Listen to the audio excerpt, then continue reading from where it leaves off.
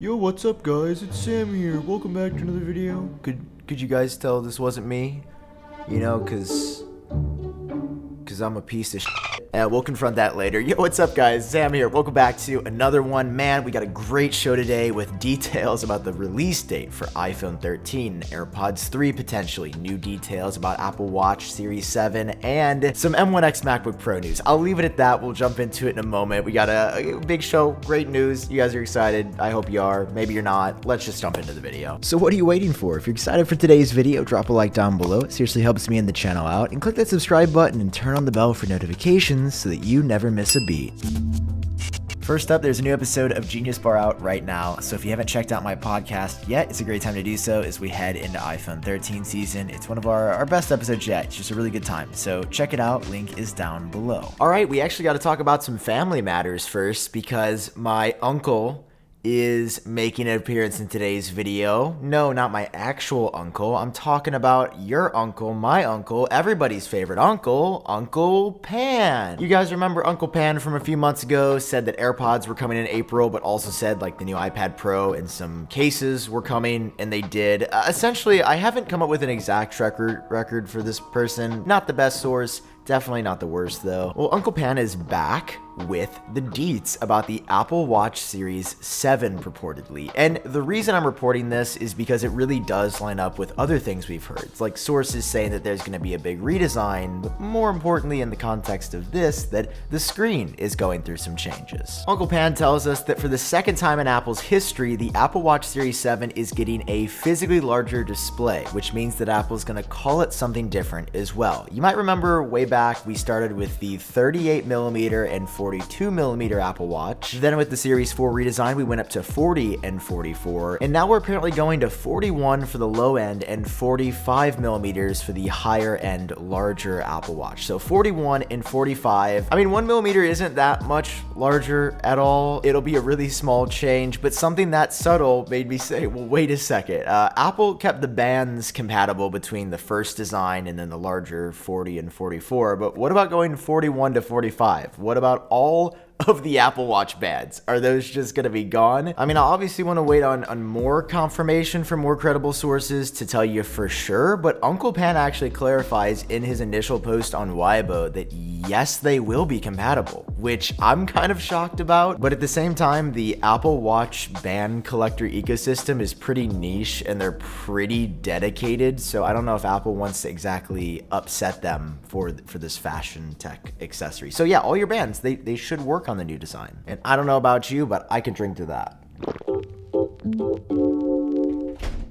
You might be wondering why I'm in the shower. Well, it's because it's summertime. It's hot as hell outside, and WeVPN just started their summer sale. You guys know that VPNs help you stay safer and more anonymous online, and there's a reason I use WeVPN instead of everybody else. The guys over at WeVPN are a group of industry veterans that left all the other VPN companies doing sketchy stuff with your data in order to make a product that not only gets better every week, but that also cares about you. On top of that, WeVPN allows you to unblock content on now more than 350 streaming services around the world, meaning you can watch shows that aren't usually available in your area area. I've used this and it's so cool. And right now there's a crazy deal happening. The summer sale is live, which means that for a limited time, you can get 74% off and three months of free service when you purchase a two-year plan. That's just $2.59 a month. And on top of that, when you use code IUPDATE, you get an additional 10% off. Listen, there's a reason that I continue to work with WeVPN each and every single week, and it's because I use it and I believe in it. If you guys like what I do here on YouTube, then head over to wevpn.com slash iupdate and get started today day. Oh, no, for this MacBook Pro story, oh, that was a really good stretch.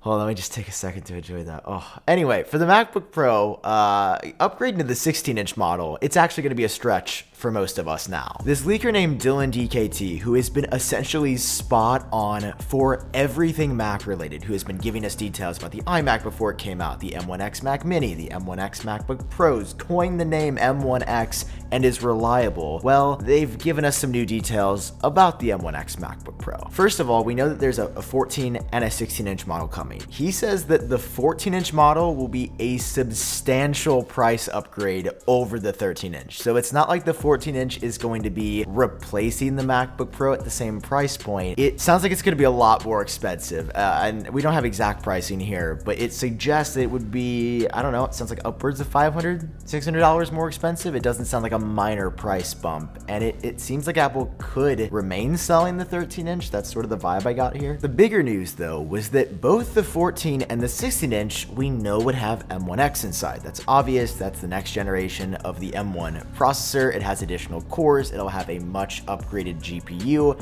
additional RAM capabilities, additional storage capabilities, but well, usually there's a there's a processing difference in the MacBook line. For as long as the MacBook Pro line has been out, and correct me if I'm wrong down below, the smaller version has had a weaker processor, and the larger version of the MacBook Pro is at a more powerful processor. It's like the space, the constraints are upgraded, so you get a better chip. You're also paying more, so you get better performance. Apparently that's stopping this year with the M1X because it is going to be the exact same performance and capability on both the 14 inch and the 16 inch, which leaves it sounds like the only incentive to go 16 inch would potentially be better battery life and a larger screen. The performance will be identical between both sizes. The specs will be identical between both sizes, which is something we haven't seen before, and I think it's going to push a lot of people down to the 14 inch, and by a lot of people, I mean myself. Since I could afford the larger size MacBook Pro, I've always gone with that because of the real estate for video editing, but also because the specs inside were simply better. But now hearing that it's gonna be the same, you can get all that power in the same portable design of essentially the 13 inch, that's gonna be pretty hard to pass up, especially with the increase in screen size getting closer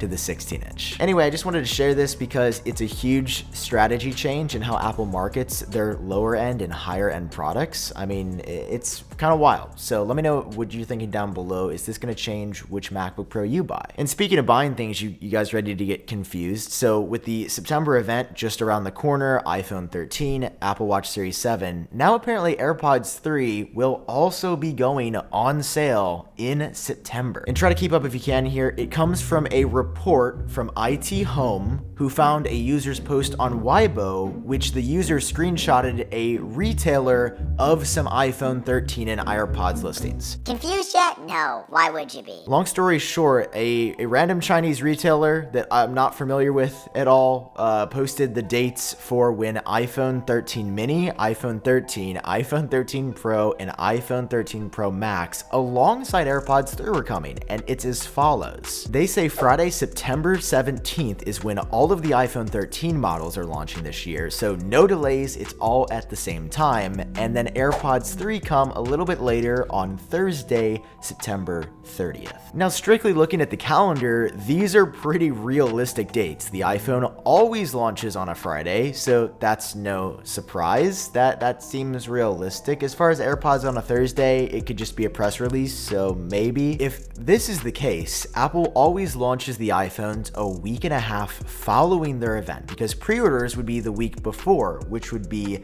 September 10th meaning that the September event would be on September 7th, according to this information. The thing is with this, we don't really know if it's real or not. It very well could be. The, the part that I, I don't believe is that this one random retailer just somehow obtained access to these dates before anybody else. I really think they're probably guessing because I'm sure a lot of retailers are just putting it in the system as is what they believe, not actual reliable information. Yet at the same time, Friday, September 17th is an incredibly realistic day. And and right now, I think it really is the best guess for the iPhone 13. It's the 17th or the 24th. That for sure is when the iPhone 13 is launching. And right now, we're, we're, slightly leaning towards the 17th. Of course, we're so close. We'll have more information about the September event. It will be announced within a week if it is happening with the event on the 7th. So, so much happening. Make sure you guys are subscribed here in case you aren't already. Drop a like if you enjoyed this or learned something new. Hey, I've been Sam. I hope you're doing well. Love you, cool cats. I'll see you in my next video. Peace.